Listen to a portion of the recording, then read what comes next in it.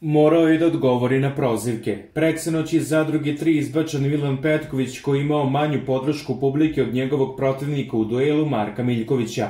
Danas su zadrugari dobili Milanovo pismo kojem je on za novog vođu proglasio Lunu Đugani što je mnogi iznenadilo. Petković se vrlo brzo posle izbacivanja oglasio na društvenoj mreži Instagram te se obratio svima koji su ga vređali jer je za vođu ostavio upravo Lunu. Samo da vas obavestim da sam živ. Svi ljudi koji me vređuju zbog odabira vođe, ne zaboravite da kad mi je najviše trebala podrška, kad sam snimao pesmu pre 8 meseci, dobio sam od Marka i Lune najviše, napisao je Petković. Međutim, bivši zadrugar se tu nije zaustavio te objasnio da je Nenad Marinković Gastuz i dalje njegov najbolji prijatelj, iako se svađao sa Đoganijevom. još nešto, Nenad je moj najbolji prijatelj bez obzira na sve, On mi ne zamera. To što on i Luna imaju svađu se mene ne tiče.